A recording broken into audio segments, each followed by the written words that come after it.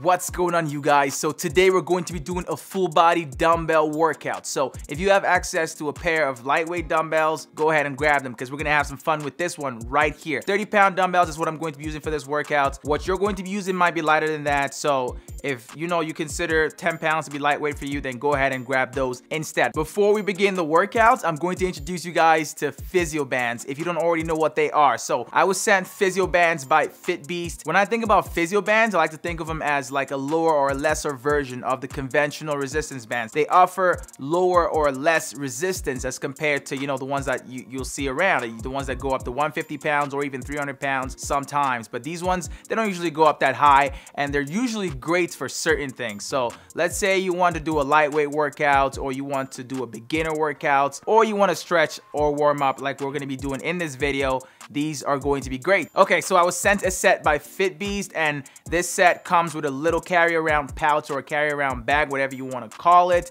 And inside this bag, there's a, a manual on how to use it and stuff like that, as well as like a warranty card and you know, there's also three different resistance levels. The yellow one, which is just a lightweight, it's only 15 pounds in resistance. The next one after that is the red one, which is only 20 pounds in resistance. And then the final one is the blue one, which is only uh, 25 pounds in resistance. So also a door anchor in there. So say you want to do stretching exercises or just beginner exercises that involve, you know, using the door because you can do a lot of resistance band workouts with a door. So having a door anchor in the bag is also very useful. So I'd like to say thank you to FitBeast for sending these out. If you're looking to grab one of them, make sure to go down in the description. There will be links right there. And let's not waste any more time with this and let's get right to this party, y'all. You already know how we do this, man. Let's get it.